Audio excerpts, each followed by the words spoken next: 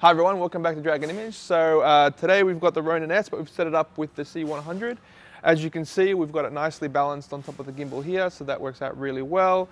Uh, some of the questions that we keep kind of getting asked about the Ronin S is first, how do I turn it on? Which seems really e easy, but it's not. Um, you've got to turn the battery on first, then you've got to turn on the main unit by pressing the button on the side here. The other thing you've got is the mode button. So these are basically just three speeds currently of how quickly it kind of rotates. And the other thing is that just like the Osmos, they have a little trigger here. So what the trigger does, it allows me to point at a subject and then kind of lock that off. So this is really good if I'm doing low stuff and high stuff and I just want to make sure that my hand movement doesn't affect the position of the gimbal. Um, so for instance, let's just say that I want to do a shot that I'm kind of looking up, so I can tilt that up like that, press the lock button, and now as I go down, my hand movement isn't affecting the position of the camera, and then I go of it and reposition it. So it's as easy as that. Sorry?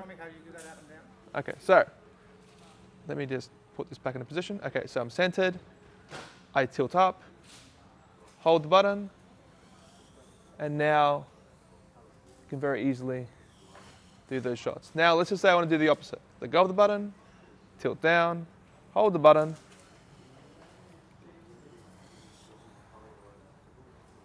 and it still allows me to move that without having to worry about it changing the angle of the camera. And it's that simple. So it doesn't lock onto a subject, it locks off to a particular angle or a tilt.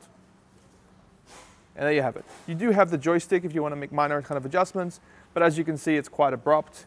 It's not a very smooth kind of system, but there are other programs and applications you can use to get a little bit more kind of control out of it. Um, as for the focus wheel, we aren't really using it with this camera, uh, but if you had like a DSLR or A7S or a Panasonic, it would be great to use. So there you have it. No worries. See you soon.